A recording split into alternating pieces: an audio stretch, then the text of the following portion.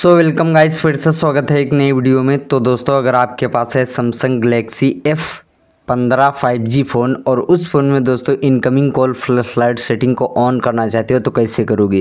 यानी दोस्तों जब भी आपके फ़ोन पर कोई भी कॉल आती है तो आपकी दोस्तों पीछे की फ्लैश लाइट जलेगी बिलिंग करेगी कॉल आने पर ठीक है?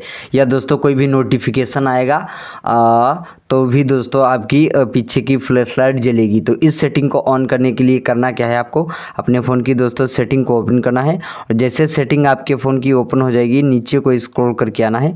यहाँ पे मिलेगा एक्सेसिबिलिटी यहाँ पे क्लिक करना है और जैसे क्लिक करोगे, यहाँ पे दोस्तों आपको मिलेगा एडवांस्ड सेटिंग्स यहाँ पे क्लिक करना है और जैसे क्लिक करोगे, अब दोस्तों यहाँ पे मिलेगा फ्लैश नोटिफिकेशन इस पर क्लिक करना है और यहाँ कैमरा फ्लैश नोटिफिकेशन को ऑन करना है, ठीक है? अब इससे कैसे होगा? जैसे इसी पे क्लिक करते हो तो यहाँ पे देखोगे आप, यहाँ पे कॉल का भी ऑप्शन है। बहुत से ऐप्स के ऑप्शन दिए गए हैं तो सभी इनेबल हो जाते हैं। आप यहाँ पे ऊपर देख भी सकते हो, यानी फ्लैश नोटिफिकेशन जब भी कॉल आएगी तो आपकी पीछे की फ्लैश लाइट जलेगी बिलिंग करेगी।